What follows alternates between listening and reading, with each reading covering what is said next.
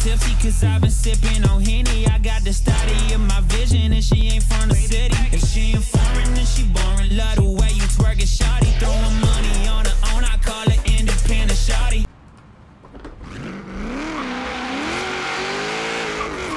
What's up, everybody? Welcome back to the channel. I'm Evil Rabbit here on Forza Horizon 3. We are heading to the parking lot to see if we can't get some candies with some Randys.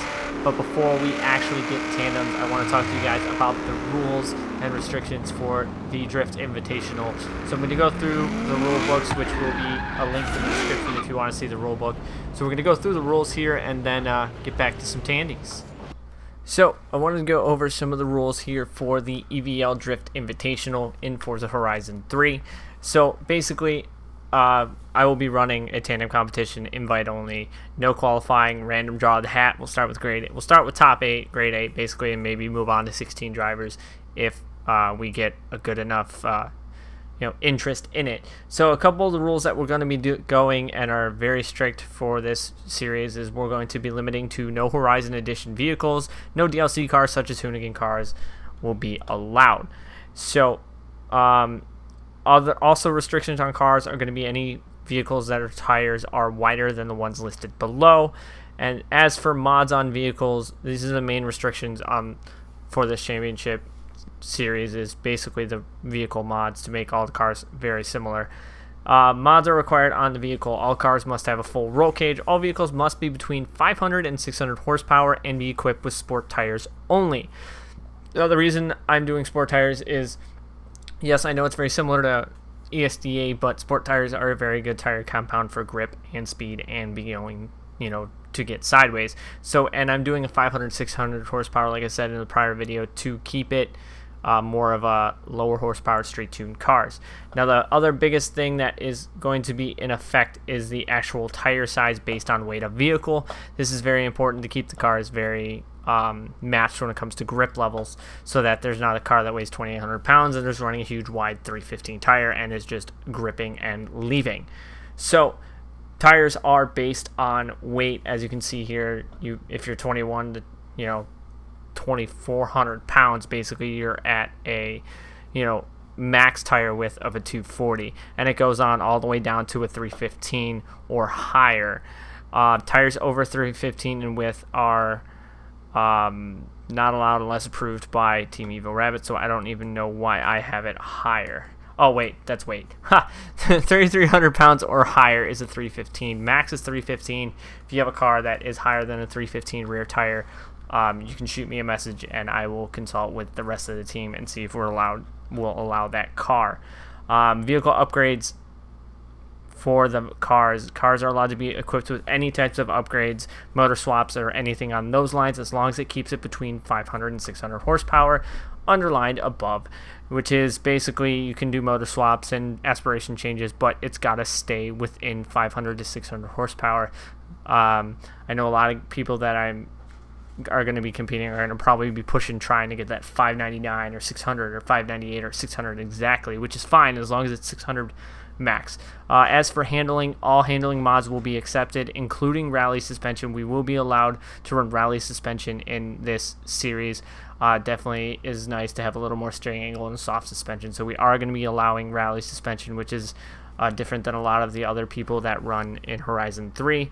Um, braking all braking is allowed. Body kits, aero, however you want to do a wide body, that's all fine as well. Um, just make sure you're under that 500 to 600 horsepower and that your tires are within your max width spec per weight of vehicle, and that's weight after all the modifications. All, uh, all cars must have the EVL door card with your gamertag and flag as shown in these two diagram pictures.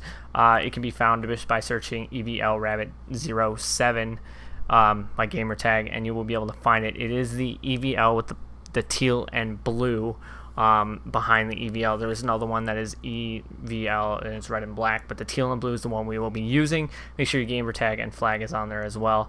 And then basically just goes down to the competition saying it's a grade 8 bracket style, no qualifying, and then all the rules. You can read all these you want. Um, I'll leave the link for this in the description box below if you guys want to refer back to it. So if you guys want to compete in this, make sure you guys comment on this video or the video prior, whoever commented on that, I already have you guys written down in a list. Um, I will be keeping a list going of people that want to compete, see how many we have. Maybe we'll go to top 16. Maybe we'll have more depending on how many people want to join. So, I guys, I hope you guys are as hyped as I am to do this little championship. I know the guys from Evil Rabbit are definitely excited to do it as well. Hamster, MK, Urgent. Uh, we've been wanting to do this for a while. Just there has been a, some uh, setbacks in a sense. So we are back to doing this. Um, I am going to do my best, an absolute best, to do more than just one every month because I would like to have more than just one and you know four or five people invited and get a lot of you guys involved. So like I said, I will leave the link down in the description box below for this rules. If you guys want to see the rules and everything like that, make sure you click on the link. Make sure you guys build the car to spec and put those door cards on. And uh, hopefully I'll see a bunch of you guys. So we're to head back to the game and uh, get some slides on and uh, shake down this V8S13 that I'm in. But, you know, we'll see if I actually use that V8S13 or if I change different cars. So. So unfortunately, I was not able to find a session with some random. So we are here now, just cruising the streets. We're gonna go run the section that I think we're gonna run for the first event. But I wanted to give, give you guys a little lowdown on the rules for the car restrictions and such, so that if you guys do want to keep the car and maybe get acclimated with the car and the tires and such. Uh, like I said, I will be doing the first one as a invite for eight. Um, I pretty much have those people already invited. I just got to send the invites out. For everybody else that wants to be a part who commented on the first video, I will be doing more, probably, you know, very, you know, short intervals in between with a lot of people. So, to get back into tandems here on Horizon 3, and have some fun with subscribers and other people other than just the team, and to take a little uh, laid-back approach to some tandem competition because Horizon 3 is definitely a lot more laid back when it comes to tandeming than, say, Forza Motorsport 7.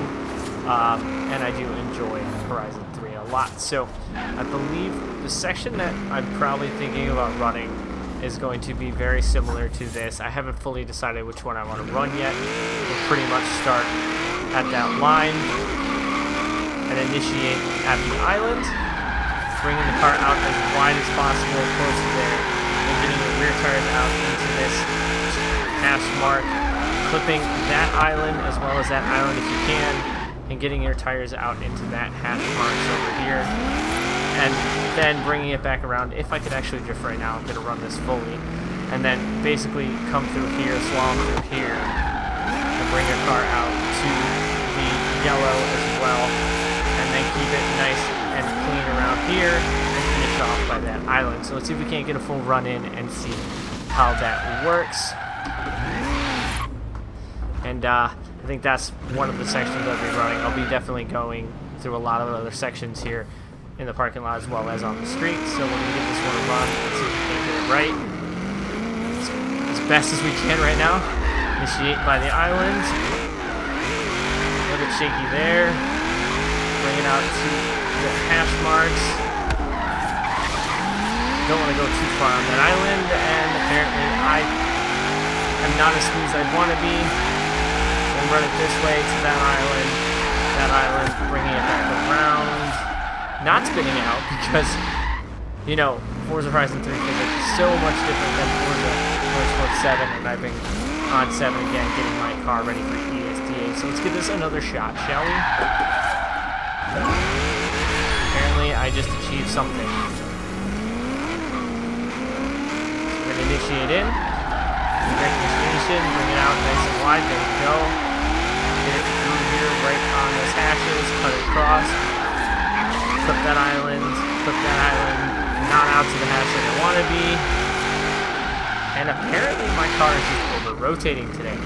So, you guys get the idea. I just wanted to bring this episode to you guys for bringing the main rules and such for the invite drift sessions.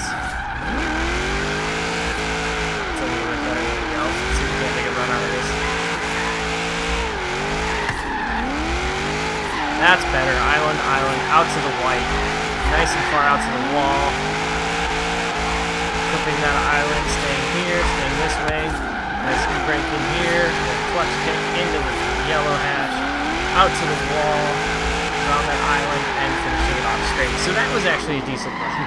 So, like I said, guys, I hope you guys enjoyed this little bit episode on the rules and such for my EVL Drift Invitational. If you guys want to repeat, comment down on this video. If you didn't comment on the ones before, I will be sending invites out here shortly to the first people in the first eight, and I will be bringing that all that footage to the channel for you guys to watch, and then I'll be inviting more people for the next one. But the car rules will stay the same, and uh, there may be some repeat invites into some of the sessions with my the main team of myself, who will also be helping me judge, as well as maybe the winner of the first invitational that I do will probably get an invite back to the second. So until next time, guys, to comment, make sure to share, and subscribe on the description box below. As always, I'd like to thank you guys for watching. I'm Evil Rabbit. I'm out.